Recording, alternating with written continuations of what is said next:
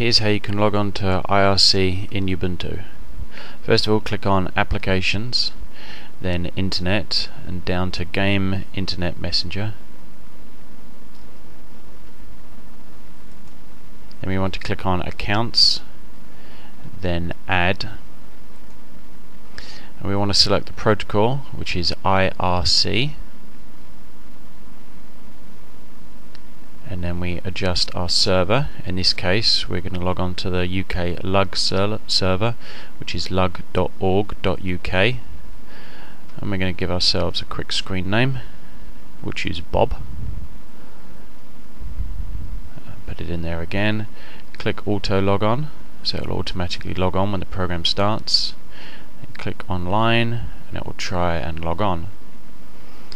Now we just have to wait a few minutes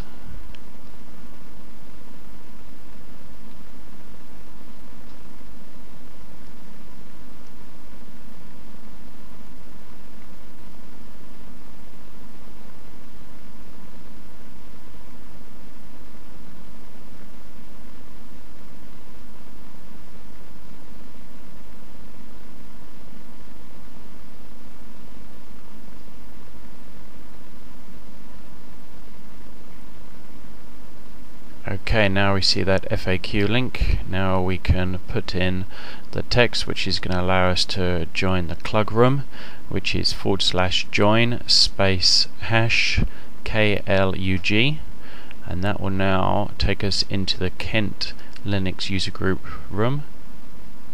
There on the right hand side you can see all the users that are currently logged in. Down the bottom here we can type our message click send or enter and then wait for a reply and that's how you can talk to all of the Kent Linux user group members from around the county.